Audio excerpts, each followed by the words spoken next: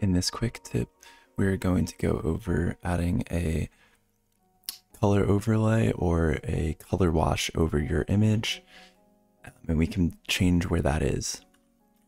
It's similar to vignetting, so I'm going to add a mix node and add, er, for that I'm going to click use nodes to add compositing to my image.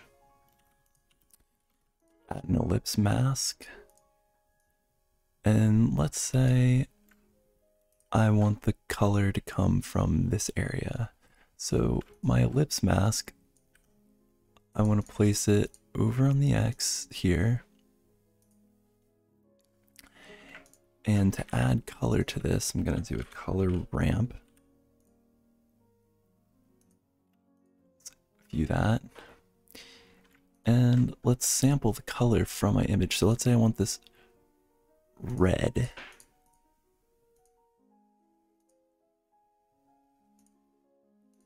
Well, let's click that red. You can see my circle is now that. I'm going to blur the circle. Plug this blur into here.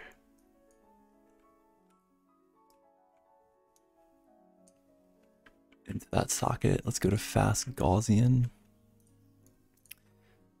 really blur it out. But you'll be able to see that let's actually increase the width and height of this.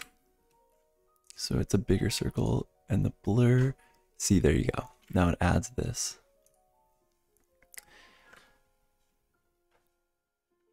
So before and after. And it adds just a nice little touch. You can turn this down. I encourage you to experiment with the type of uh, overlay style. But yeah, you can change the blur, you can change the color, and like I said too, you can change the height, you can change the position. You can have two of these if you would like as well. Um, but yeah, it, it ingrains it, I think, in a more interesting fashion. So thank you for watching. And uh, yeah, I'm going to add more of these compositing tutorials. And um, also, if you want to contact me on Discord, I do some one on one mentoring as well. So thank you, and I hope you enjoyed.